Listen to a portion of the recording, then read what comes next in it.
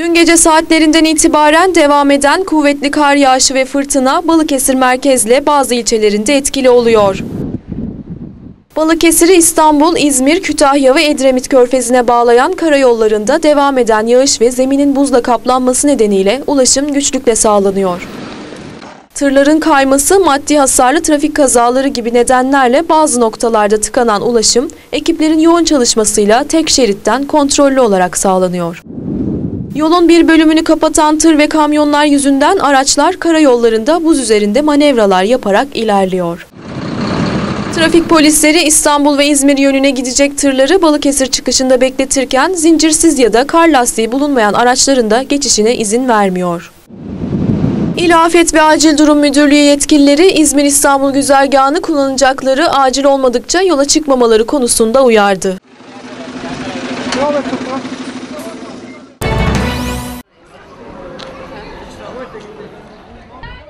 Öğrencilik yıllarında tanıştığı başörtü yasağı nedeniyle çok sevdiği öğretmenlik mesleğinden istifa etmek zorunda bırakılan Günnur Akçay Konur göreve geri dönmenin mutluluğunu yaşıyor. Malatya İnönü Üniversitesi Psikolojik Danışmanlık ve Rehberlik bölümünden 1985 yılında mezun olan 47 yaşındaki Günnur Akçay Konur, yaşadığı zorlu başörtü yasağı günlerini anlattı. Sıkıntıları yaşadığım süreç e, anaokulunda müdürlük yaptığım süreçti. Sosyal hizmetlere biz aylık periyodik e, evrak götürmek zorundasınız. Yani oranın e, çalışma prosedürlerine göre gittiğimiz her seferinde bir şekilde bir iğneleyici ifade, bir e, aşağılayıcı uslup, tarzda karşılaşıyorduk. O bizim için her ay travmatik bir döngüye ulaşmıştı. Kapıya gelen her resmi kıyafetli insan bizim için bir şekilde e, bir gerilim oluşturuyordu. Başörtüsü yasağıyla öğrencilik yıllarında tanıştığını ifade eden Konur, başörtüsünün serbest bırakılması için büyük mücadele verdiğini dile getirdi. Mahkemeye verildik. Sosyal hizmetler hakkımızda dava açtı. Mahkemeye verildik. Hakim karşısına çıktık. Ee, tabii direkt e, başörtülü çalışmayı suç kapsamına alamıyorlar yasal noktada. Ee, şeyim de burada, mahkeme kararım da burada. Ee, din, dini eğitim vermek ve e, izinsiz dershane açmaktan dolayı bir hüküm giydik. 10 gün adli para cezası ve 5 yılda takip şeklinde. Geçen yıl e, Temmuz ayında bir başvuru yapmıştım Milli Eğitim'e tekrar geri dönüş noktasında. E, mahkeme kararımı ilişiğe ekledim. E, ve 4-5 aylık bir süreçten sonra atamam tekrar yapıldı. Kesinlikle e, kendinizi her ortamda e, doğru ifade etmeye, bir şekilde e, size yaftalamak istedikleri e, o e, kimlik mi diyeyim, ne, nasıl e, ifade edeyim, ben bu değilimi ifade etmek zorunda kalıyorsunuz toplum içinde. Ben bu değilim. Ben hiçbir zaman için yani öğrencilik yıllarımızda bizler başörtüsünden dolayı mücadele ettiğimiz için meydanlara çıktığımızda, ellerimizde pankartlarla yürüyüşlere çıktığımızda bizlere terörist kimliği yaftalanmak istendi. Yaşadıklarını anlatırken zaman zaman duygulanarak gözyaşı döken Konur, yaşanan şeylerin hepsinin travma olarak kaldığını söyledi. Sürekli olarak hayır ben bu değilim. Ben ülkem için, kendim için doğru kişiliğimi, doğru kimliğimi yaşamaya çalışan bir bireyim sadece. Benden bu ülkeye, bu insanlara hiçbir şekilde zarar gelmezi sürekli savunmak zorunda kalıyorsunuz. Eve döndüğümde e, ilk e, atama kararımı hani gördüğümüzde üniversite öğrencisi, hukukta okuyan oğlum var benim. Sarıldık sarıldık ağladık. Geriye dönük bir e, film şeridi geçiyor önünüzden. Evet bu benim zaferim gerçekten de hani farklı duygular. Çalıştığım kurumda çok mutluydum, çok seviyordum. Gerçekten de orayı bırakmak bana çok zor geldi. Ama e, eşim, çocuklarım noktasında hani kal orada. Bir sonraki adım hani idarecilikti. Zaten müdür yardımcısıydım. Hani o şekildeydi. E, biliyordum arkadaşlarım benimle olan hani samimi paylaşımlarını. E, ama ben eşime şunu söyledim. Devlet benden özür diliyor. Bu özrü kabul etmemek olmaz. Ben bu özrü kabul edeceğim. Hani şu anda gelmiş olduğum nokta ben insan olarak, başörtülü bir bayan olarak bana verilen değerin tadını çıkarmaya çalışıyorum. Onlar da işin tabi olacak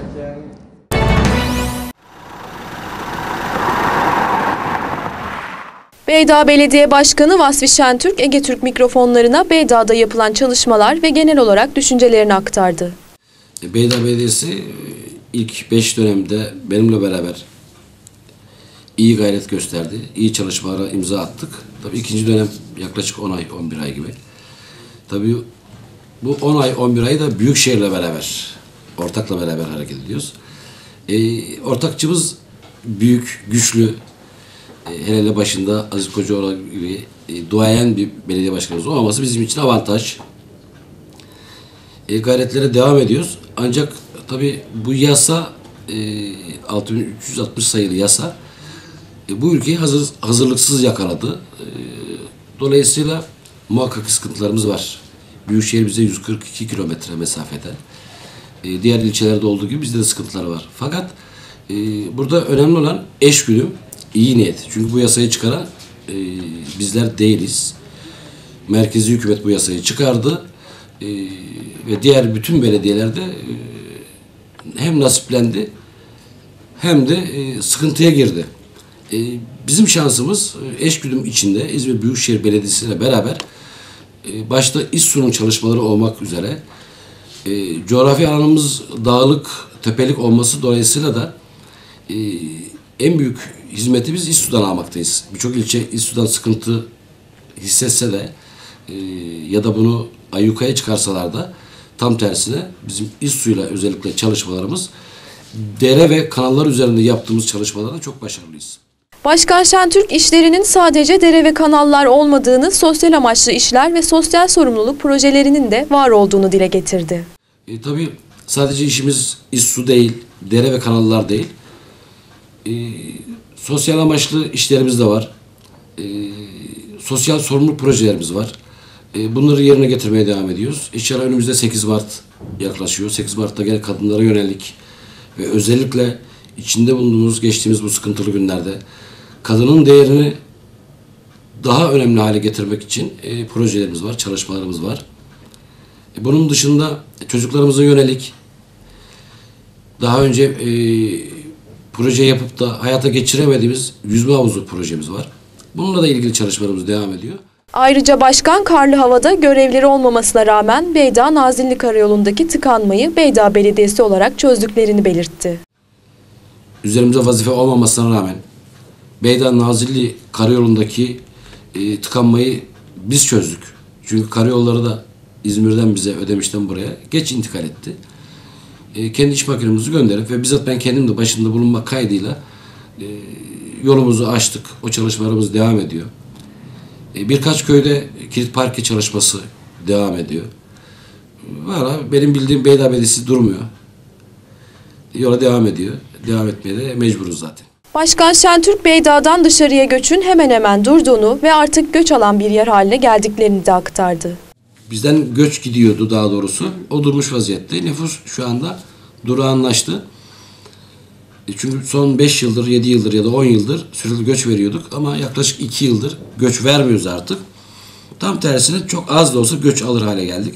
İşte buraya gelip de buranın güzelliğini gören işte memur odaklı arkadaşlar, e, vatandaşlarımız e, ev almaya başladılar, daire almaya başladılar, bahçe almaya başladılar. E, artık e, göç vermiyoruz. Yani bundan sonra göç alan bir yer haline geleceğiz. E, umutluyuz bu konuda. Ama bizim dediğimiz gibi bizim sıkıntımız e, bu yasayla beraber belediyenin elindeki alınan yetkilerin belki yeni bir düzenlemeyle en azından bütçenin işte yüzde kırkının büyükşehire giden bütçenin yüzde yirmi beşe indirilmesi veya yüzde yirmiye indirilmesi diğer kalan kısmı da ilçe belediyesine verilerek belediyenin elinin rahatlatılması konusunda hükümetten taleplerimiz var. E, bu konuda milletvekillerimizin çalışmaları var. Çıkan e, torba yasalarında veya çıkacak olan yasalarda, torba yasalarında e, bunu öngörüyoruz. İnşallah umutluyuz.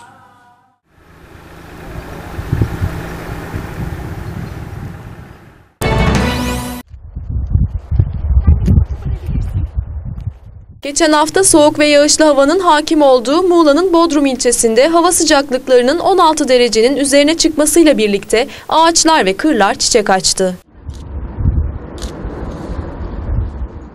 Lale, gelincik ve papatyalarla dolan kırlar tabloları andıran görüntüler oluşturdu. Temiz havanın keyfini sürmek için vatandaşlar yeşil alanlara akın etti. Torba mahallesindeki ormanlık alanda kırlarda gezerek çiçek toplayanlardan 36 yaşındaki Selma Akgün, kızı 6 yaşındaki Karya Akgün'le temiz hava almanın keyfini yaşadı. Birincisi ilk Cemre bugün toprağa düştü. Türkiye'nin büyük bir bölümü e, soğuk havanın etkisinde. E, ama biz Bodrum'da baharı yaşıyoruz. E, çocuğumla geldik. E, çiçek topladık. Ve baharın tadını çıkartmaya başladık sanırım. Evet Bodrum'da havalar da ısınıyor galiba değil mi? Evet yavaş yavaş Fotoğraf. ısınmaya başladı. Fotoğraf. Evet. zulme ses çıkarmayanlara o zalimi destek. Cumhurbaşkanı Recep Tayyip Erdoğan, AFAD'ın 22 lojistik merkezinin açılış törenine katıldı. Evet, AFAD'ımızın 22 lojistik tesisi inşallah 5'i de daha sonra bu yıl sonuna kadar bitecek. Tüm ülkemize hayırlı olsun diyoruz. Emeği geçenlere şükranlarımızı bildiriyoruz. Tekrar ya Allah, Bismillah. Cumhurbaşkanı Erdoğan konuşmasında Mersin'de vahşice katledilen Özge Can Aslan'a Allah'tan rahmet, ailesine ise başsağlığı dilediğini söyledi. Ayrıca bugün gönderdikleri siyah başörtülerini de aldığını dile getirdi. Hamdolsun.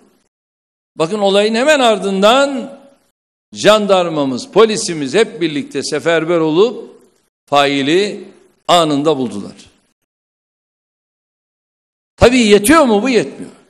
İşte şimdi biz de diyoruz ki yargı burada üzerine düşen görevi yapacak, yapması gerekir ve bunun fail ve faillerine gereken cezayı en üst düzeyde vermek durumundadır. Ben tekrar Özge canımıza Allah'tan rahmet diliyorum. Ailesine tekrar sabırlar diliyorum. Ve bugün gönderdikleri o siyah başörtülerini de aldım. Bunun mesajını da buradan vermek istiyorum. İnşallah o mesaj beyaz başörtüleriyle devam eder. Erdoğan konuşmasında Avrupa ülkelerinin Orta Doğu'da yaşanan vahşet karşısındaki sessizliklerini de eleştirdi. Batıda ölen insan da bir can, buralarda ölenler de birer can. Paris'te ölen 12 kişi için dünyayı ayağa kaldıranların Suriye'de katledilen 350 bin kişiyi görmezden gelmesi ne insanidir, ne vicdanidir, ne de ahlakidir.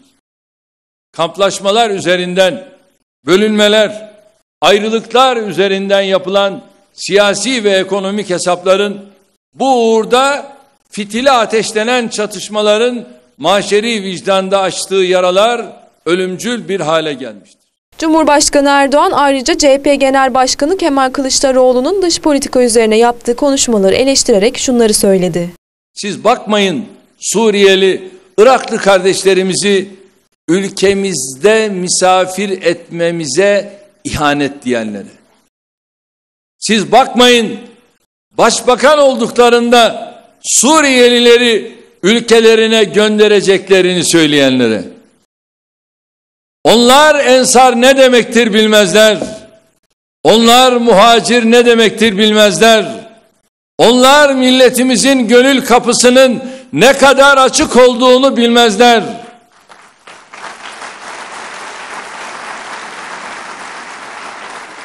Bunları bilmedikleri için de aslında hiçbir zaman bu ülkede bunlar başbakan olamazlar ve asla kimseyi ülkelerine geri gönderemezler. Gerçekten çok güzel gidiyor. Sizlerle bir seri eğitim alacağız. Bugün ilk başlayacağız. ESOT Genel Müdürlüğü'nün çeşitli birimlerinde görevli 2700 personel İzmir Ekonomi Üniversitesi uzmanlarından empati kurma, stresle başa çıkma ve öfke kontrolü dersleri almaya başladı. olarak bakmamanızı, bir aile ya yani böyle şimdi eğitim grup. İzmir Büyükşehir Belediyesi Esot Genel Müdürlüğü başta yoğun stres altında görev yapan şoförler olmak üzere tüm personelini özel eğitimden geçiriyor. grup ki ben böyle olmasını istiyorum. Dördüncü grupta ya çok neyi oluşturuyor? İzmir Ekonomi Üniversitesi Sürekli Eğitim Merkezi ile yapılan protokol çerçevesinde önümüzdeki 3 yıl boyunca toplam 2730 ESOT çalışanı haftada bir gün üniversiteye gelerek insan ilişkileri, iletişim becerileri ve stres yönetimi eğitimi alacak. İzmir Ekonomi Üniversitesi Sürekli Eğitim Merkezi Müdürü Yardımcı Doçent Doktor Neslihan Demirtaş, stres ve öfke kontrolünü içeren ve daha çok psikolojik yönü ağır basan 3 yıllık bir eğitim çalışması yapacaklarını belirterek şunları kaydetti. Bizim üniversite olarak en büyük amacımız e, bu yaşam boyu öğrenme e, noktasında e, içinde yaşadığımız topluma katkı sağlamak. E, onun için İzmir'de böyle eğitimler vermek bizim için çok önemli.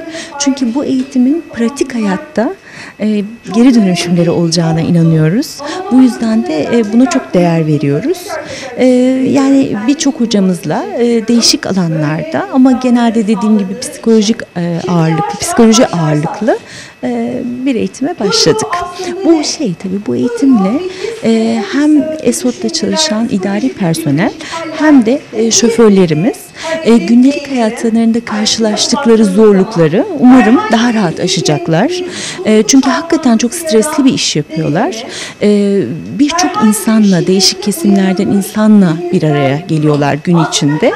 E, hem onların hayatını kolaylaştırmak hem de kurumun iş, işini rahatlatmak bizim aslında e, en önemli amacımız bu eğitimle. Ekonomi Üniversitesi öğretim görevlisi Berrin Yangın Özü ise derslerdeki ilk eğitimlerinin duyguları tanımak olduğunu söyledi. Öncelikle yine çok teşekkür ediyorum ESOT grubuna e, böyle faydalı eğitimler aldırdığı için. İlk eğitim duygu, duyguları tanıma. Aslında bakıyoruz duyguları tanımıyoruz. Yani duyguları bile tanımıyoruz. Ondan sonra iletişim, iletişimden sonra empati, empatiden sonra stres yönetimi ve öfke yönetimi. Ben biraz önce arkadaşlara da bahsederken belki duymuşsunuzdur. Aslında istediğimiz kadar eğitim alalım ama bunları uygulamaya almazsak gerçekten hiçbir faydası olmuyor.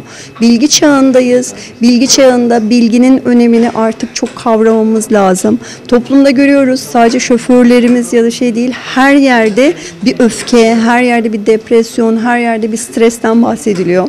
Bunun için biraz daha duygularımızı anlayıp biraz daha empati, kendimizi başkalarının yerine koyup iletişimimizi en üst seviyede tut, tutup öfkemizi biraz bastırmamız lazım diyoruz.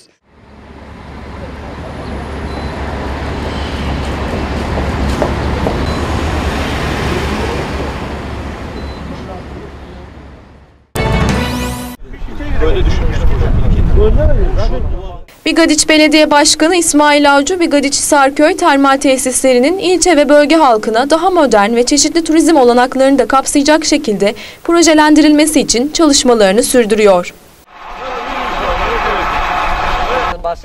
Balıkesir Üniversitesi Turizm Fakültesi katkılarıyla yeniden projelendirilip ortaklaşa olarak hayata geçirilmesi planlanan çalışmalar için Balıkesir Üniversitesi Turizm Fakültesi Yönetim Kurulu üyesi Profesör Doktor Necdet Hacıoğlu, Doçent Doktor Dürüye Bozok ve Yardımcı Doçent Doktor Bayram Şahin'le birlikte yerinde incelemelerde bulundu.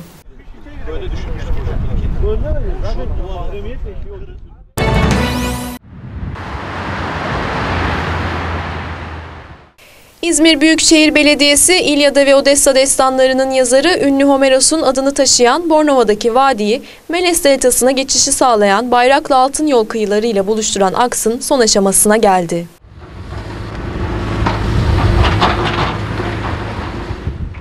Yapım çalışmalarına başlanan Adnan Kahveci Köprülü Kavşağı'nın söz konusu bölgedeki trafiği önemli ölçüde rahatlatacağı bildirildi. Homeros Vadisi Bayraklı Altın Yol kıyılarına inilecek aksın son halkası olacak. Toplam 22,5 milyon TL maliyetle yaşama geçirilecek olan Adnan Kahveci Köprülü Kavşağı yaklaşık bir yılda tamamlanacak.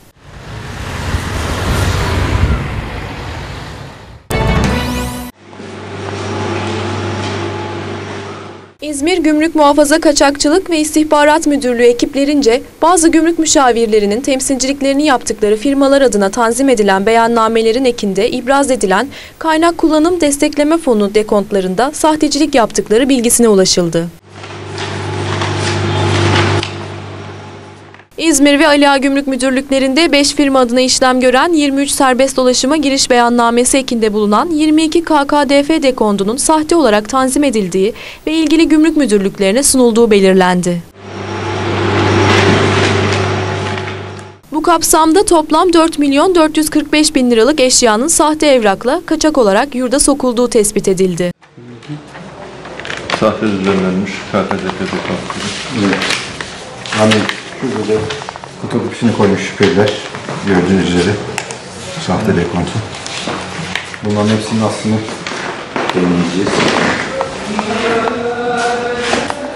2006 yılından itibaren 2014 yılına kadar milyonlarca liralık devleti zarara uğratmışlar. Sahte KKDP dekontlarıyla.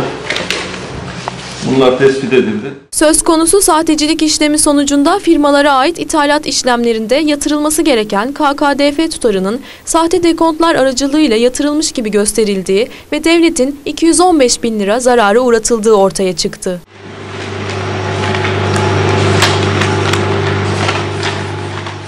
Olayla ilgili 9 kişi hakkında İzmir ve Ali Ağa Cumhuriyet Başsavcılığına suç duyurusunda bulunuldu.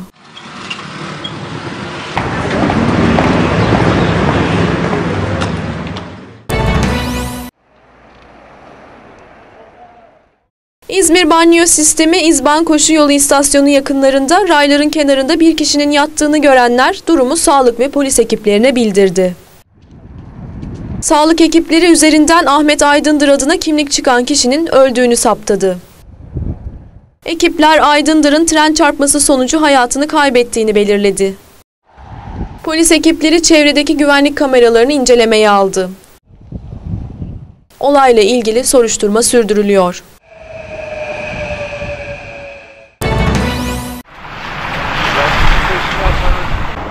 Karesi Belediyesi Zabıta Müdürlüğü ekipleri soğuk kış günlerinde sokakta kalan ve ulaşımda sıkıntı yaşayan vatandaşların yardımına koştu.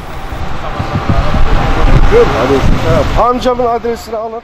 Karasi Belediyesi çağrı merkezine gelen yardım taleplerini değerlendiren Zabıta Müdürlüğü ekipleri sokakta yaşayan çok sayıda vatandaşı soğuktan korunmaları için otellere yerleştirdi.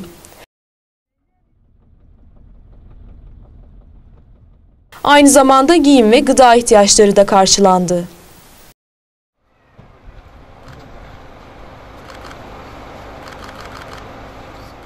Devlet hastanesinden taburcu olan yaşlıları da hastaneden alarak evlerine kadar bırakan ekipler çağrı merkezine gelen ve duyarlı vatandaşların bildirmeleri sayesinde birçok vatandaşı da bulunduğu noktadan alıp gidecekleri yere kadar bıraktı.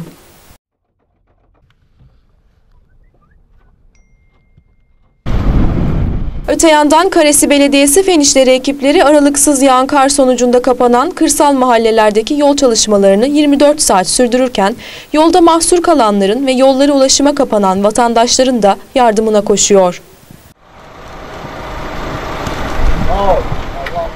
Ekiplerin yoğun çalışmaları sonrası çok sayıda kırsal mahallenin yol ulaşıma açılırken özellikle tipinin etkisiyle yeniden ulaşıma kapanan yollarda temizleme çalışmaları da sürüyor.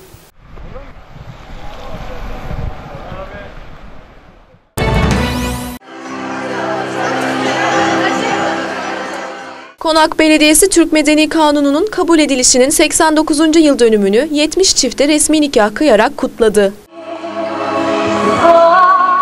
Attıkları imza ile evliliklerini resmiyete kavuşturan çiftlere mutluluklar dileyen Konak Belediye Başkanı Sema Pektaş, eşlerden birbirlerini sevip saymalarını isterken şiddetin hiç yaşanmamasını diledi. Tanıklarımızla imzalarını. Konak Belediyesi Sosyal Yardım İşleri Müdürlüğü'nce organize edilen tören Doktor Selahattin Akçiçek Eşref Paşa Kültür Merkezi nikah salonunda gerçekleştirildi.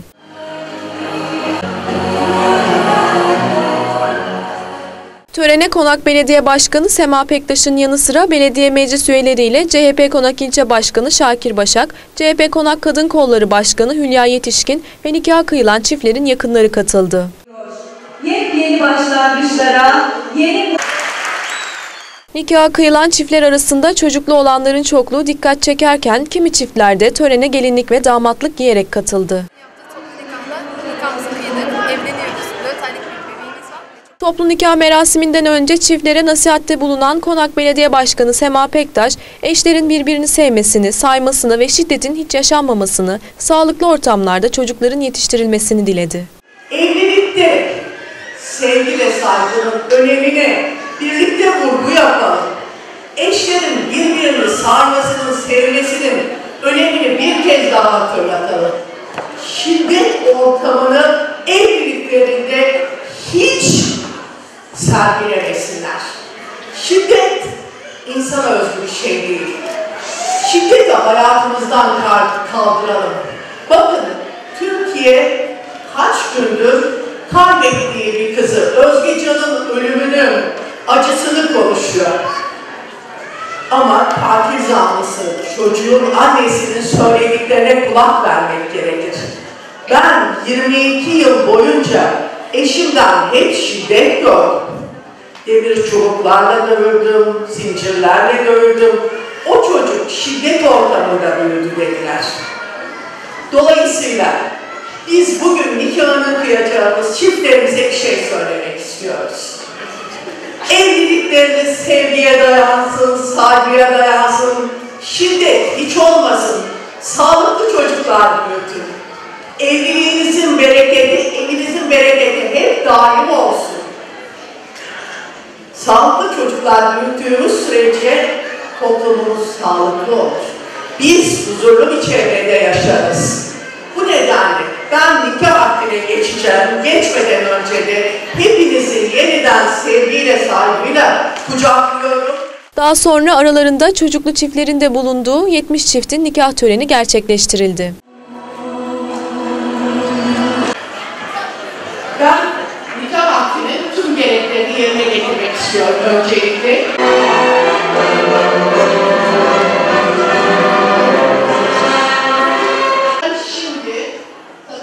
Nikahtan sonra resmi nikahları kıyılan 70 çift Başkan Pektaş'la birlikte konfeti eşliğinde pastalarını kesti.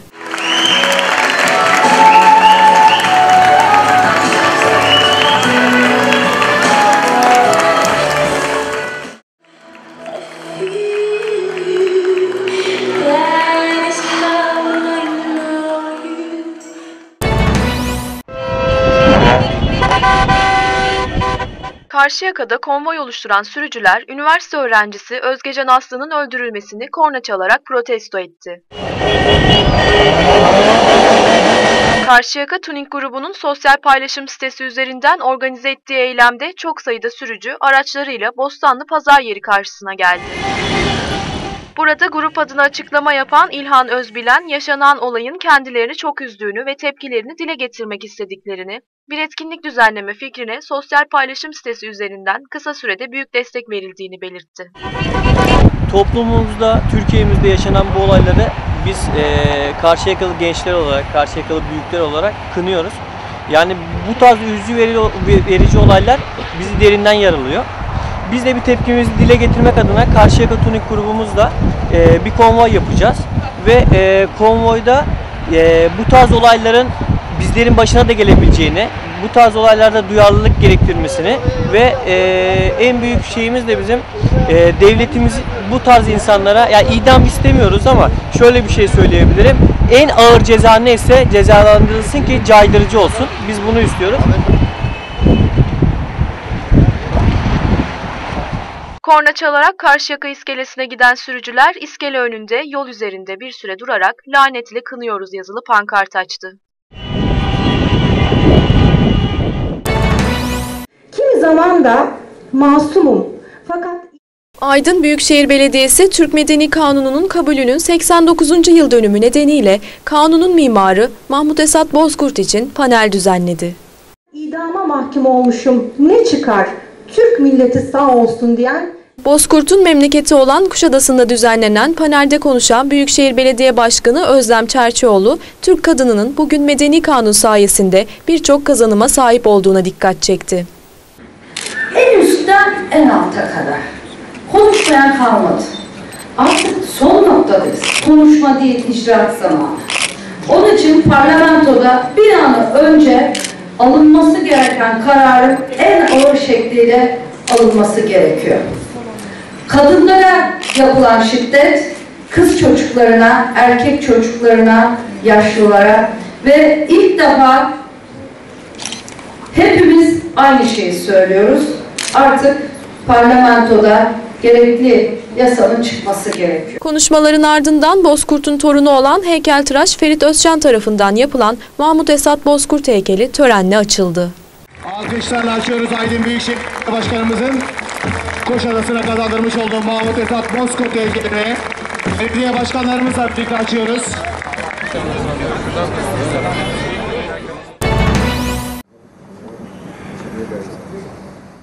Muğla'nın Marmaris ilçesindeki 47 yaşındaki Levent Volkan Gökçaylar kaldığı apart otelin odasında ölü bulundu.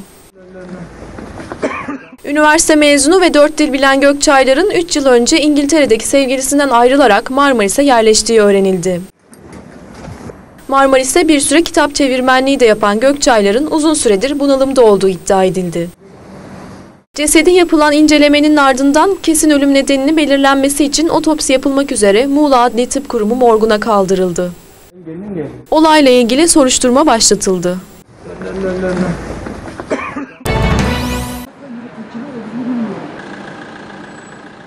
Türkiye Büyük Millet Meclisi Genel Kurulu'nda kapalı oturumda AK Partili milletvekilleriyle muhalefet milletvekilleri arasında tartışma çıktı. Tartışma sonrası çıkan kavgada 5 milletvekili yaralandı. İç güvenlik yasasının görüşüldüğü kapalı oturumda milletvekilleri arasında çıkan kavgada HDP milletvekili Ertuğrul Kürkçü, CHP milletvekilleri Musa Çam, Aykut Erdoğdu, Refik Er Yılmaz ve Mahmut Tanal yaralandı. CHP'li Çamlı Er Yılmaz ambulansla hastaneye kaldırıldı. HDP milletvekili Ertuğrul Kürkçü ise başından yaralandı. CHP Grup Başkan Vekili Levent Gök yaralanan milletvekillerini ziyaret ettiği hastane girişinde gazetecilere yaptığı açıklamada bugün Türkiye parlamento tarihinin en tarihi ve en kritik oturumlarından birinin gerçekleştirildiğini belirtti. Eh, Bugün e, Türkiye parlamento tarihinin en tarihi ve en kritik oturumlarından bir tanesini gerçekleştirdi. Ülkemiz ya demokrasiye son verecek, polis devletine geçecek ya da insan haklarına dayalı, hukukun üstünlüğüne saygılı ve demokrasinin tüm kurallarını işlediği dünyanın saygın ülkelerinden bir tanesi olacak. AKP'nin günlerdir süren itirazlarımıza karşın bu yasayı geri çekin. Bu yasa bir atom bombasıdır. Herkesin elinde patlar dediğimiz yasayı bugün inatla ve ısrarla meclis gündemine taşıması meclisteki zaten günlerdir süren gerginliği daha da arttırdı ve AKP'lilerin saldırgan yüzünü bir kez daha ortaya çıkarttı. CHP İstanbul Milletvekili Süleyman Çelebi de yaralanan milletvekillerini ziyareti sonrası yaptığı açıklamada bu olanlardan sonra ve tüm engellere rağmen iç güvenlik yasasını çıkartmamak için direneceklerini belirtti. İnsan yerde yatan insana bile tekme atan, e, yere yıkılmış adama vurmak, arkadan vurmak, kalleşçe vurmak, e, bütün bu uygulamalar e, bugün meclisin içinde yaşandı.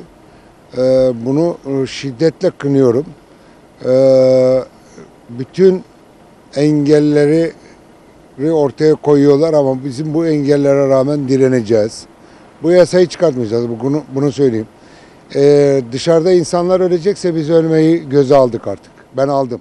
CHP İstanbul Milletvekili Mahmut Tanal da gazetecilere yaptığı açıklamada olayın kadın milletvekili Sabahat Tuncel'in kürsüde olduğu sırada meydana geldiğini söyledi. AK Partili erkek milletvekillerinin Tuncel'in üstüne saldırdığını iddia etti. Sebahat Tuncel kürsüdeydi. Kadın milletvekili üzerine AKP'li, AKP'li erkek milletvekilleri Sabahat Tuncel'e saldırdı. Ve düşünebiliyor musunuz Özgecan'ın işte rahmetli oluşun üzerinde iki gün geçti. Bir erkek şiddeti orada yine tekrar yaşandı. Ve o arada e, milletvekili arkadaşımız e, Musa Bey tamamen ayırıyordu. Ayırma pozisyonundaydı. Ve bu şekilde saldırılar hiçbir fark gözetmeksizin hepimize saldırdılar. Burada şunu kabul etmek lazım. İnsan hakları için, demokrasi için, ödenecek olan tüm bedelleri biz ödetmeye hazırız. Ödemeye hazırız.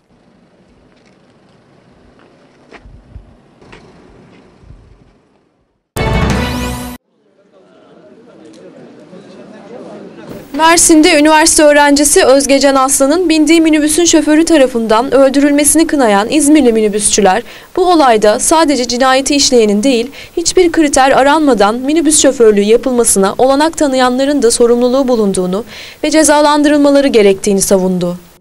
basından da takip ediyoruz. İşte emanetmiş, 3 günlük çalışmış, 5 günlük çalışmış. Böyle bir şey yok arkadaşlar. 3 günlük çalışacaksın. 20 yaşında bir gencecik fidanın canını alacaksın. Ondan sonra bir mal sahibi olarak kendini savunacaksın. Bunun savunulacak hiçbir yanı yok. Ne e, oda olarak var, ne federasyon olarak var, ne mal sahibi olarak var. Hiçbir şekilde bunun savunması yoktur arkadaşlar. Biz de İzmir minibüsçüsü olarak en ağır cezayı ki buna her türlü ceza hafif kalır. En ağır cezanın verilmesini istiyoruz. İzmir minibüsçüleri olarak tabii ki acılı ailenin acısını paylaşamayız. Ama İzmir'deki minibüs esnafı olarak bize ne düşüyorsa biz yapmaya hazırız. İzmirli minibüsçüler Özgecan Aslan'ın meslektaşları olarak kabul etmeseler de evine gitmek için bindiği minibüsün sürücüsü tarafından öldürülmesini, araçlarına astıkları üzerinde siyah kurdele resmiyle Özgecan Aslan'ın öldürülmesini nefretle kınıyoruz yazısı bulunan afişle protesto etti. İzmir Minibüsçüler Esnaf Odası'na ev sahipliği yapan Gazi Emir Minibüs son duraklarında bir araya gelen oda yönetimi ve minibüsçüler yaptıkları basın açıklamasıyla hem olaydan duydukları derin üzüntüyü hem de bu ve benzeri acı olayların önüne geçilebilmesi için alınması gereken tedbirleri dile getirdi. Ama maalesef ki olan olaylardan hepimiz üzgünüz. Ben şunu söylüyorum. Bu olayda, bu olayı işleyenlerde değil, yetkili kim varsa gerekli cezayı alması lazım arkadaşlar. Ehliyetini alan minibüs şoförü olamaz. Ehliyetini alan insandan 11 maddeden oluşan kriterler koyduk. İşte psikoteknik belgesi, SRC belgesi, e, keyif ve uyuşturucu bağımlılığı raporları gibi şoföre özel bir kart istedik. Bu da bu tür olayların önüne geçmek içindi. E, şoförlerimizin nasıl çalışacağı, müşteriye nasıl davranacağı hakkında eğitimler veriyoruz. Tabii ki eksiklerimiz var mı? Mutlaka var. İzmirli minibüsçüler olarak olayı nefretle kınadıklarını dile getiren İzmir Minibüsçüler Esnaf Odası Başkanı Taner Uğuz, minibüs esnafı olarak tüm yolcularını kendilerine emanet namusları olarak gördüklerini söyledi. Biz şunu söylüyoruz. İzmir'de minibüste taşıdığımız Özge Aslan ve tüm yolcularımız bizim namusumuzdur. Bu gözle bakıyoruz. Biz İzmir'de 8 ay önce bir takım çalışmalar başlattık. Bu Türkiye'de bir ilk. Ehliyeti alan minibüse çıkmasın dedik. Başkan Uğuz, İzmir'deki minibüslerde kameralı ve GPRS'li sistem olduğunu, şoför yeterliliğinin yanı sıra minibüslerde güvenli yolculuk için bu olaydan çok önce çeşitli güvenlik tedbirlerini de hayata geçirdiklerini dile getirdi. Şimdi sistem hem mal sahibi tarafından gerekirse cep telefonundan da izlenebiliyor. Odadan da bu sistemin takibini biz yapıyoruz. Yolcularımız hakkında bir şikayet oldu veya herhangi bir şey unutuldu. Hemen araçtan ekrandan izleyip e, şeyi takip edebiliyoruz.